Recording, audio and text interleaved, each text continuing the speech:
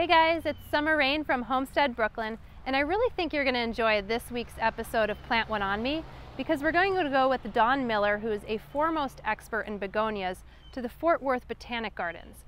I had no idea about this, but they have the best begonia collection in all of the United States, and it actually rivals some of the collections around the world.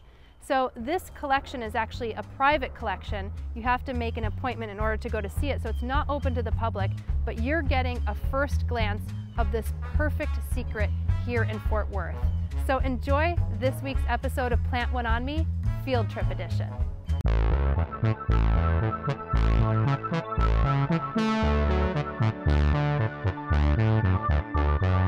How long have you been fascinated with begonias? Oh, gosh.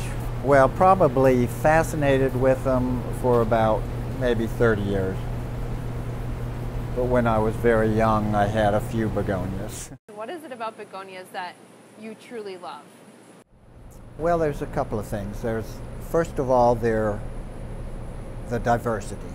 The, you know, there's just so many different kinds, so many, uh, you know, big leaf, a narrow leaf, a hairy leaf, a shiny leaf, a big plant, you know, a spreading plant, uh, just so much variation in the species. And then when you start getting into the hybrids, it's really very, you know, the big tuberous flowers. And then they're easy to propagate.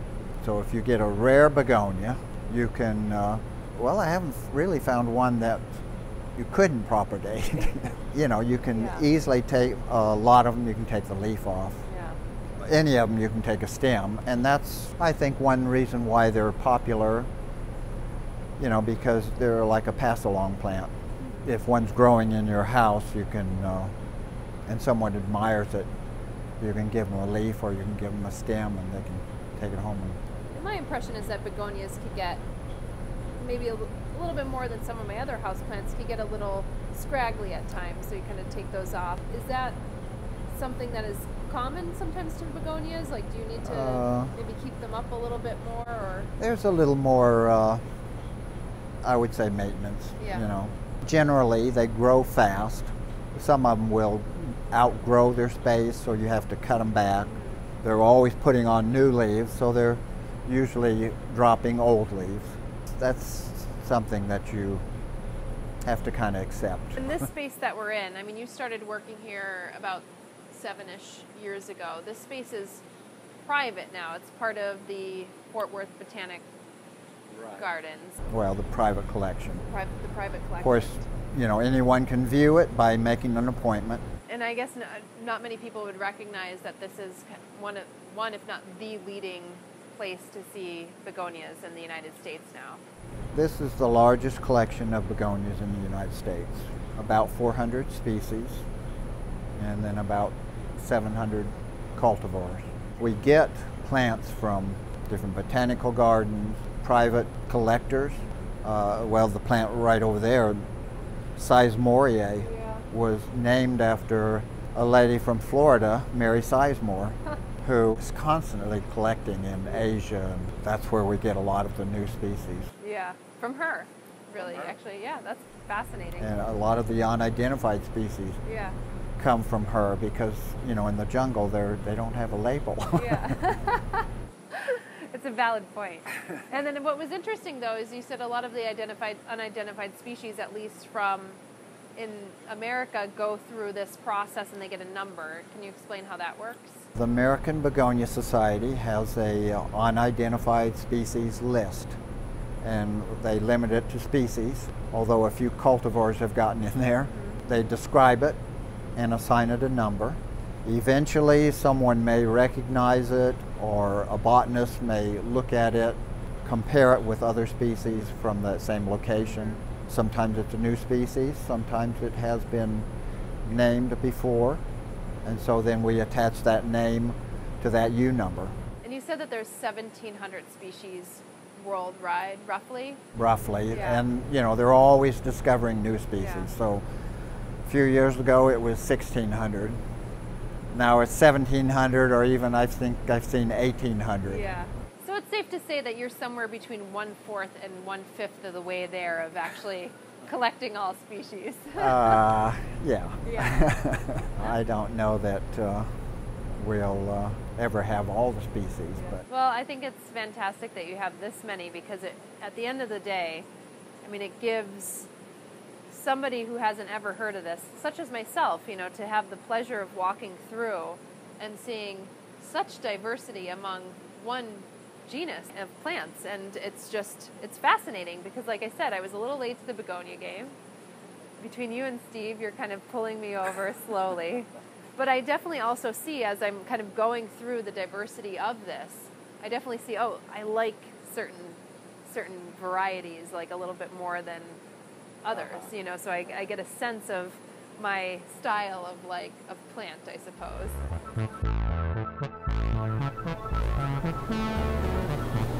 well, those are interesting.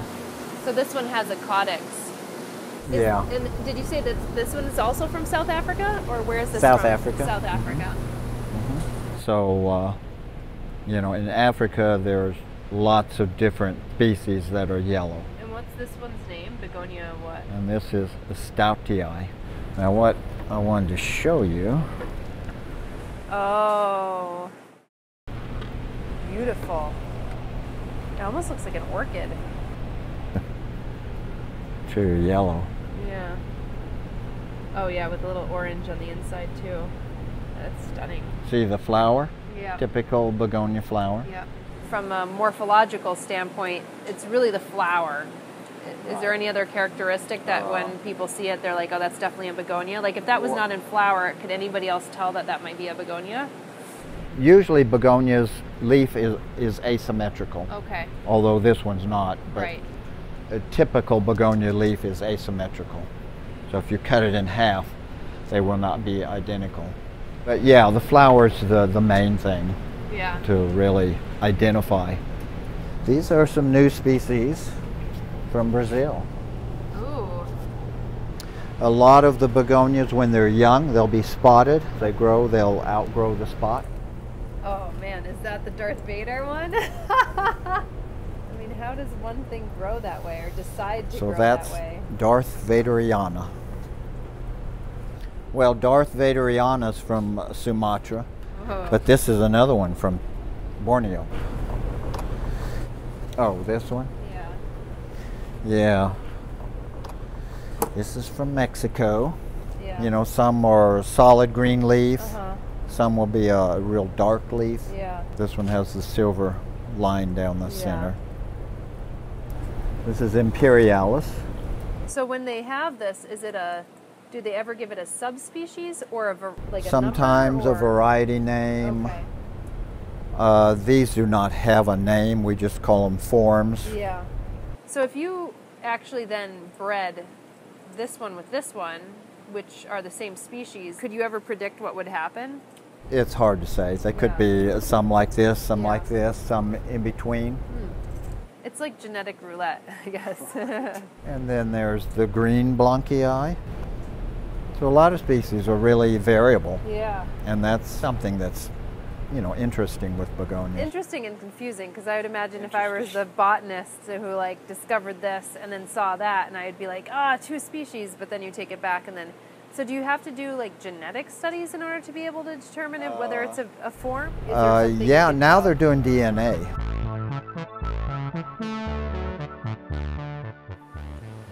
Now this one is, Common name is piggyback begonia.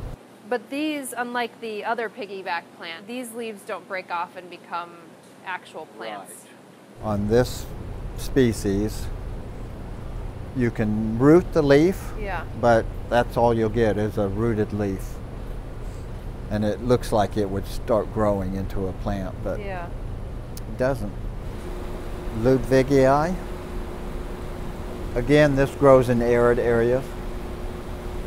So that's uh, Begonia venosa. Okay. Yes. Yeah, I definitely had, you know, this plant at one point. Should have assumed this one would want a lot of sun just because of the nature of it. And um, and you'd have it on the drier side then. Right. Okay. Which is unique because when I think of most begonias, you want to ha- have a little bit more moisture. Well, this one would be a little more drier than most, Okay. but most begonias, it's always better to be a little bit dry than Yeah. too wet. It's stunning. It's definitely my top. like, unusual, five. very unusual. And they say it has a, a scent, a lemon scent. Well, if I didn't have allergies Oh, right you now, couldn't get it. I don't have a good smeller either, so Yeah. I usually don't get it. I. I would. I, I'll try. Oh wait, no, I actually can smell something. Can you? Surprisingly, even though I have my Oh, nose is I got it too. Yeah. so then it must be really strong. If you have a bad nose and I'm full stuffed up because of allergies, then that's pretty strong. right, yeah, yeah. So this one here with the lanceolate leaves and This is egregia from Brazil. Has little tiny white flowers. So what's the next big step for this space? Acquire more begonias or? Acquire more begonias. Some of the ones in the terrariums we'll take out and Yeah. See if we can acclimate them to less humidity and uh, work them into the collection. Yeah. And this one, this one's not looking its best because it doesn't like the heat, Yeah. but it's It's in alphabetical order. but it's in alphabetical order. Yeah. Wow, this is way more spacious though. So you have a, you definitely have a lot more. Well, we've got uh, 700 cultivars. This is Red Fred. oh yeah. and this is Challenger. Yeah, that's pretty impressive. So, it- you know, these plants have been eight feet across. Yeah. Well, we've just rearranged everything because species used to be in here with these. So, uh, well, here's Don Miller. There he is. Here he is. Stunning because you have it's the reverse almost, you know. It's it's got this like beautiful silver appeal. Uh, let's see. Be interesting to see.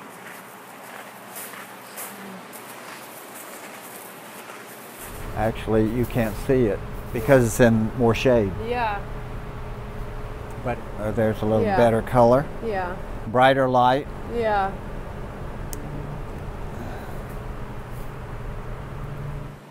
Fascinating how different But- they are. Yeah, they're similar yet different. Yeah. Different color. So basically, if you wanted to maintain this hybrid, you would just have to constantly have cuttings from the first one that you developed. It's like a clone. So it's all it's genetically identical to the mother plant. Thank you. Thank you for taking us through this and showing us the world of, uh, of begonias. I think a lot of the plant lovers out there will appreciate your passion and your knowledge, and also this little gem of a creation that you actually helped create here in, uh, in, in Fort Worth and Dallas. I hope you really enjoyed that tour. And if you're ever in the Fort Worth, Dallas area, be sure to come to the Botanic Garden and call in advance to make an appointment to see the private collections of the begonias for yourself because they are a sight to behold. If you love these episodes, do subscribe to the channel so you can tune in every week. And of course, you could follow my journey on Instagram at Homestead Brooklyn and on my website at homesteadbrooklyn.com. See you next week.